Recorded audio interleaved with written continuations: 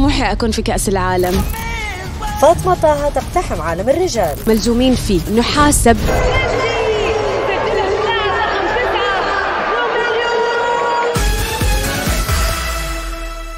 حياكم الله مع إيتي بالعربي. طبيعي فاطمة طه تستقبلنا بهالطريقة خاصة إنها من أبرز المعلقين بالوطن العربي بعالم كرة القدم. فهي قدرت بوقت قصير إنها تلفت نظر الجمهور كونها امرأة إماراتية تخوض هالمجال أنا أشوف أن أي مجال في العالم لازم يكون في امرأة أو رجل. حتى في وايد مجالات مختلفة غير الرياضة في ناس انتقدوا وجود المرأة فيها لكن المرأة أبدعت فيها من يعني وصولها للفضاء أو غيره يعني.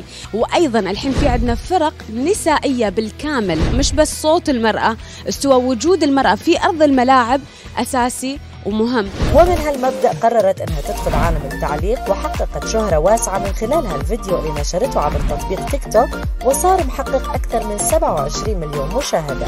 في البداية طبعا أنا خلف الكواليس.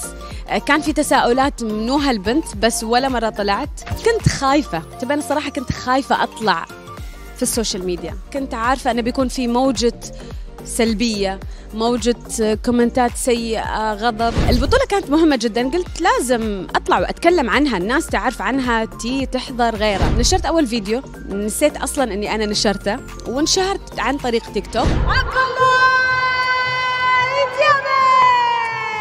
ومثل أي مجال فيه كثير challenges بتواجهها فاطمة اللي كشفت لنا أسرار عن التعليق الرياضي. كنت أخاف شوي أن في جمهور إذا غلط إذا قلت كلمة غلط إذا سويت الشيء الفلاني. في ناس وايد ما تعرف أن نحن نمشي على سكريبت محدد وملزومين فيه. نحاسب إذا غيرنا كلمة أو ما قلت شيء في الوقت الفلاني ما قلت ال ال الإعلان بالطريقة الصحيحة. لازم يكون بطريقة معينة بوقت معين محسوب علينا. لأنه ممكن حتى يكون في مخالفات في حال أن المعلق ما قال بالوقت الصح أو بالطريقة الصحيحة. النتيجة النهائية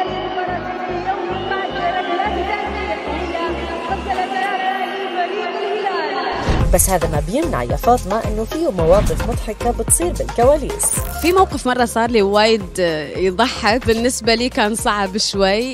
في أحد المرات كان عندنا فريق والشخص اللي دخل طبعا أنا أكون في استاد هزاع في الطابق الخامس. فأصلا وايد صعب علي إني أشوف منو اللي دخل الجول وهالأمور. أحاول وايد أركز يعني. المرة اللي كل مرة أقول بجيب لي منظار بس أنسى.